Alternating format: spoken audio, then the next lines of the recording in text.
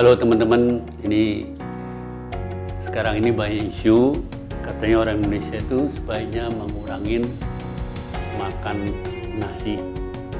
Nah di sini kebetulan saya kedatangan seorang ahli masakan-masakan dengan dasar bahan-bahan tanaman namanya Dewi yang khusus datang ke Jakarta dari Jogja nih.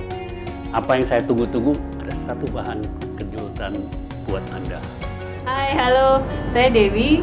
Saya dari Little Garden sebagai uh, executive chef di Yogyakarta. Ya, Little Garden itu uh, rumah makan atau restoran atau warung yang di mana itu hmm, restorannya lebih mengolah atau menyajikan makanan yang sifatnya lebih ke bahan-bahannya plant based, hampir semuanya.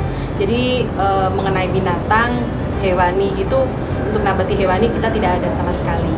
Semuanya bahan itu kita olah dari bahan fresh sehingga bisa menjadi pasta maupun saus maupun dressing e, apa saja. Terus dessert, main course, appetizer semua dari bahan fresh kita bikin dan semuanya disupport hampir rata-rata dari UKM Yogyakarta.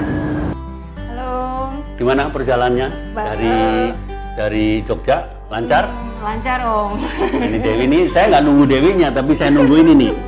Ini coba ini ada terasi nabati. ya. Eh, yang jelas ini dari kacang tolo sama ini dari koro bengu.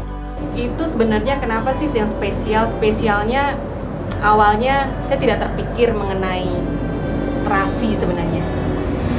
Beliau ngasih masukan saya untuk bisa bikin terasi, coba bikin terasi yang nabati tanpa hewani.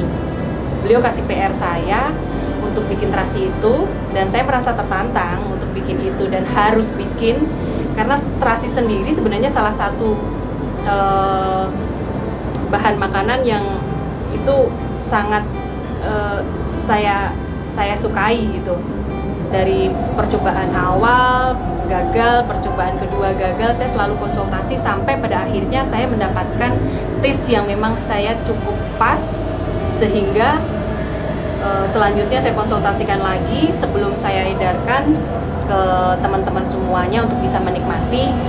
Saya minta bantuan Pak William lagi yang di mana memberikan ide saya untuk membuat terasi untuk meng-ACC apakah ini layak untuk makanan Indonesia apalagi orang Indonesia sebagai pengganti terasi eh, ikan ataupun udang.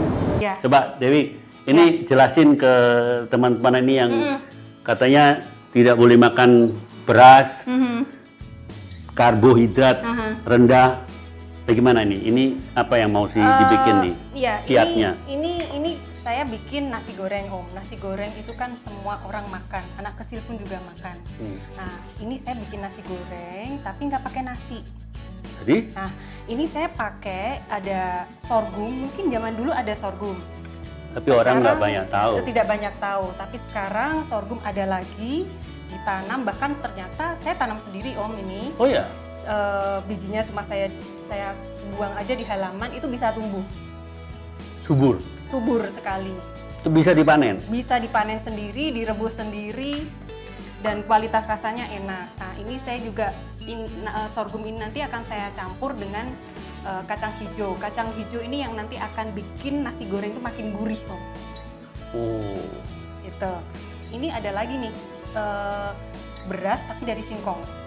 Kualitasnya enak sekali dan bisa perak, om. Kualitasnya mesti bisa perak. dibuktikan ya nanti Harus kamu juga. buktikan, ya. Terus bumbunya ini ini bumbunya kok aneh-aneh ini? Eh, bumbunya ini saya bumbu saya racik sendiri. Eh, Versinya arsitek nih. Iya. Ini arsitek nih. Dasarnya Iya, arsitek. iya. Jadi masak itu kreasinya banyak, fantasinya banyak. Nih. Beda dengan cuman hanya belajar masak Betul. terus tuh. Dan full color ya Om ya. Full color. Harus full color. Jadi di sini saya untuk Bumbu bumbunya itu saya ada bumbu yang dihaluskan. Hmm. Ya, ini bumbu yang dihaluskan ini terdiri dari kemiri, eh, Bawang bawang putih. putih, terus bawang merah, Mm-mm. sama satu lagi kecombrang. Ini untuk aromanya ini Nom nanti. Oke, jadi bahan-bahan intinya adalah dari tiga ini ya. ini sama ini. Terus kalau yang mau pengen pedas bisa tambahkan eh, apa cabai. Cabai. Ya, cabai sesuai selera. Ini bubuk Seperti- juga. Ini bumbu bumbu eh, apa?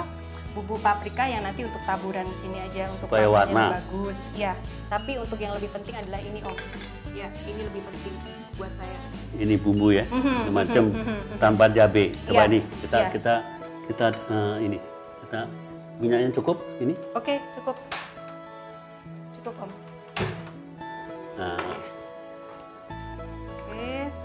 Ini. Terus di sini tidak ada garam ya Om ya? oh, Jadi kita pakai tidak garam. pakai garam.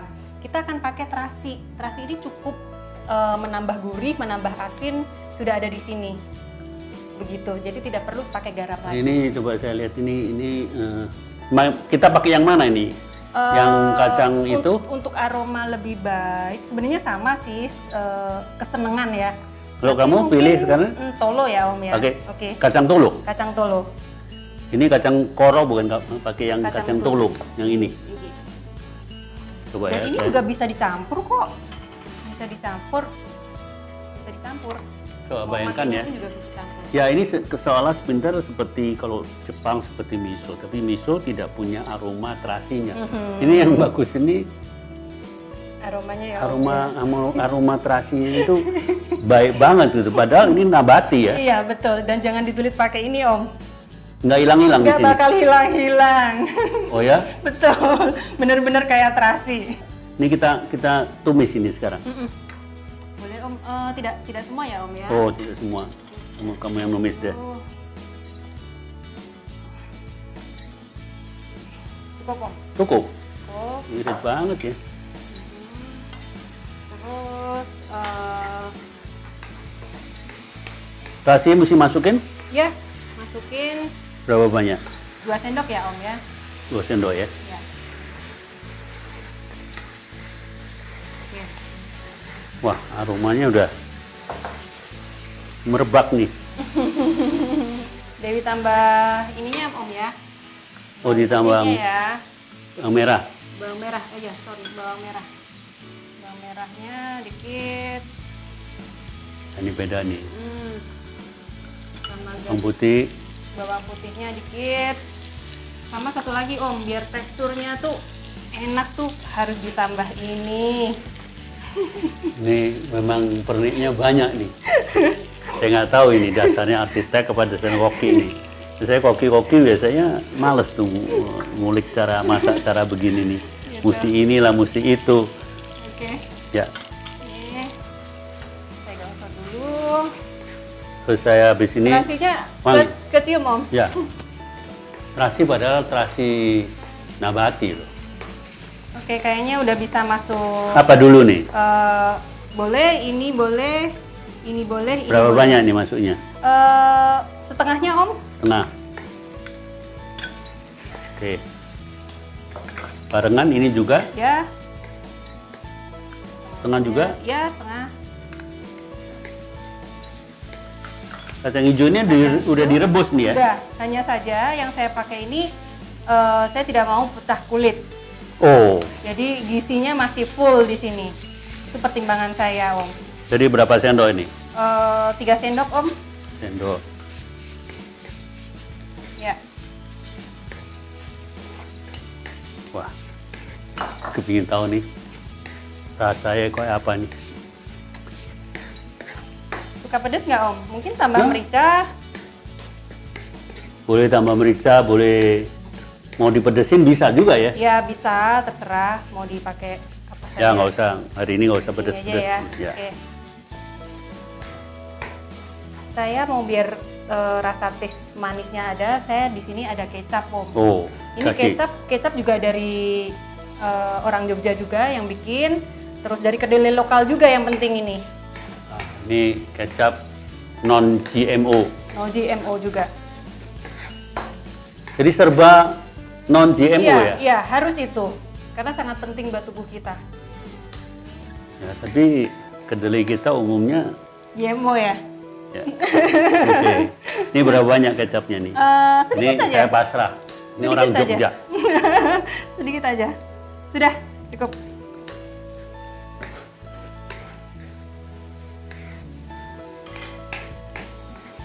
Ini untuk sarapan oke, untuk makan malam juga oke.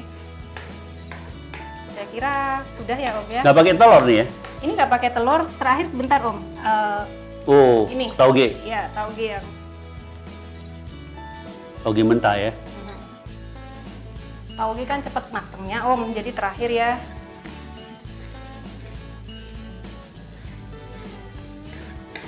Baru tahu nih. Masakan seperti ini. Oke. Oke? Sip. Saya kira udah. Udah cukup. Tunggu diam. Jadi pindahin ke sini nih. Oke. Pindahin ya.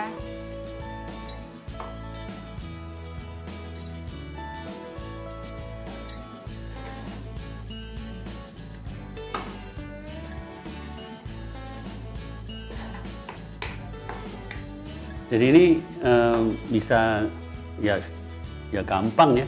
Gampang sekali. Kalau mau mau bikin Semua orang bisa Setiap hari? bikin. Iya. Setiap hari bisa bikin, enak, sehat.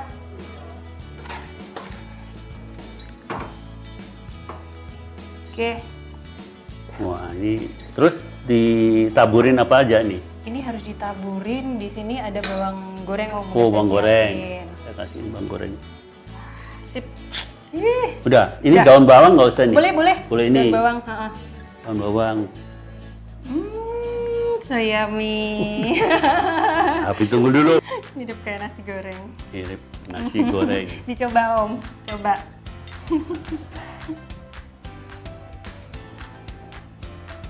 Hmm, You know? baru makan nasi goreng ada rasa combrang. Hmm. Aku suka rasa terasinya lebih banyak. Hmm, thank you. Berarti tambahin terasi ya om Hmm. ya. Jadi nggak harus dua sendok. Hmm, Dia tiga sendok. bisa tiga sendok bisa sesuai selera sebenarnya. Nah ini teman-teman hasil masakan Dewi non karbo dengan dasar apa tadi Plant based plant based Ya. atau dasarnya tanaman. tanaman. Jadi Sampai yang- jumpa di plant based cooking yang akan datang.